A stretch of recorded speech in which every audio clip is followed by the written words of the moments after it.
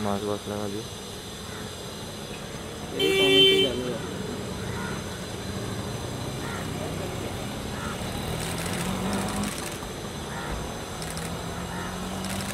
रुकुल जी। रुकुल जी थोड़ा आगे हो ना।